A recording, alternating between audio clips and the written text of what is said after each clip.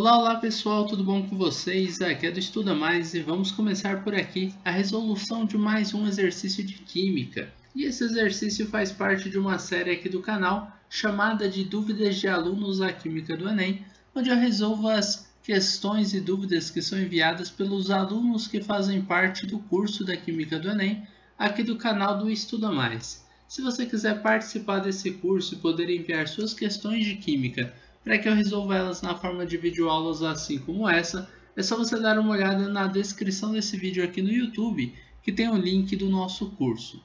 Bom, vamos lá. Qual a fórmula, qual a fórmula estrutural do 3-etil-pentan-3-ol? Olha só, a gente vai ter que entender que o nome de um composto orgânico ele, ele pode ser separado em duas partes. Primeira parte é a parte 3-etil, aqui nesse caso, que a gente está falando da ramificação. Então você vai ter a ramificação e vai ter a segunda parte, onde você tem a sua cadeia principal. Vou colocar aqui CP de cadeia principal, tá bom? Então olha só, na cadeia principal, eu gosto de sempre que eu for montar a estrutura, eu montar a cadeia principal primeiro, porque isso facilita muito nossa vida. A cadeia principal ela começa com a palavra pente. Se você pegar uma tabela de nomenclatura, você vai lá nos prefixos e vai ver que o prefixo, quando você tem a palavra pente, significa que existem cinco átomos de carbonos na cadeia. Então vamos colocar aqui cinco carbonos, isso na cadeia principal. Depois da palavra pente, a gente tem aqui ó, escrito an. Esse an significa que nós temos um alcano. É um composto que só tem ligações do tipo simples. Então, todos esses átomos de carbono só estarão fazendo ligações simples entre eles. As outras ligações elas serão feitas com átomos de hidrogênios, com a ramificação e etc. Então, eu já vou colocar aqui ó, os tracinhos porque cada átomo de carbono ele consegue fazer até quatro ligações químicas. Vocês podem notar que todos eles estarão fazendo quatro ligações. Agora, com relação à nossa a, a, terminação, né, a gente tem a palavra ol, que significa que nós temos um álcool. Um álcool é um grupo hidroxila ligado a um átomo de carbono que é saturado. Um carbono saturado, nesse caso aqui, é um carbono que a gente chama de carbono sp3. Tá, professor, mas o que, que significa isso? Significa que ele só faz ligações simples.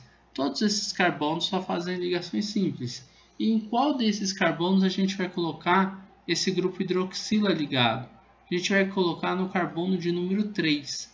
E aí você vai numerar a cadeia. Olha só, 1, 2, 3, 4 e 5. No carbono de número 3 tem que ter o grupo OH. Professor, e se eu numerasse do outro lado? 1, 2, 3, daria na mesma. No carbono de número 3, você vai colocar o grupo OH. Então, a gente pode colocar hidroxila aqui em cima. O resto da, das nossas ligações serão com átomos de hidrogênios e com a nossa ramificação. Onde vai ficar a nossa ramificação? No carbono de número 3. Então é nesse carbono que está ligado ao grupo hidroxila, ele também estará ligado à ramificação. Essa ramificação, ela, tem, ela começa com a palavra et, né? aqui nós temos um etil. A palavra met, na química orgânica, significa que você tem um carbono. A palavra et significa que você tem dois carbonos. Quando eu escrevo a palavra etil, esse il aqui vem de ramificação significa que nós temos dois carbonos em uma ramificação. Então, eu tenho aqui um CH2 ligado ao CH3. E aqui nós temos dois carbonos, só que não fazem parte da cadeia principal. A cadeia principal está aqui, tudo bem? O resto da estrutura, agora sim, nós adicionaremos apenas átomos de hidrogênios, para que cada átomo de carbono esteja fazendo aí suas quatro ligações químicas. Sempre posso fazer isso, professor? Sempre. Não tem problema nenhum fazer a adição dos hidrogênios, tá bom? Pessoal, basicamente é isso. Nós terminamos por aqui a resolução de mais um exercício de química. Nós conseguimos montar a fórmula estrutural para um composto a partir de sua nomenclatura.